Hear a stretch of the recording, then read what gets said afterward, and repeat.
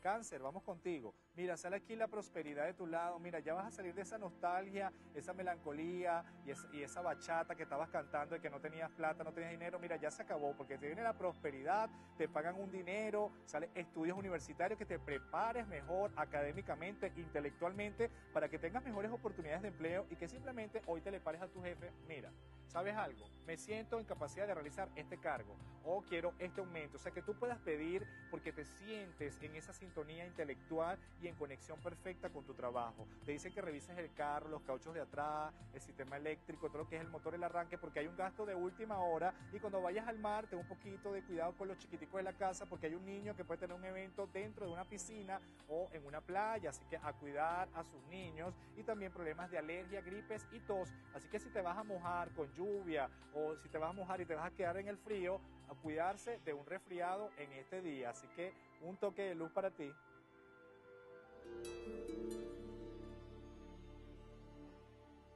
Y la carta que te corresponde es la carta de la quietud. Mira, estas cartas están maravillosas hoy porque hablan justamente de la serenidad, la quietud, la contemplación y estos atributos te ayudan a estar en paz, porque de eso se trata este programa Mensajero de Luz, de dar paz a sus corazones y entender que estos consejos simplemente canalizaciones que hacemos, que hacemos desde el cielo justamente para darle esas herramientas de crecimiento personal y espiritual, porque justamente esa quietud te ayuda a conectar esa espiritualidad dentro de ti.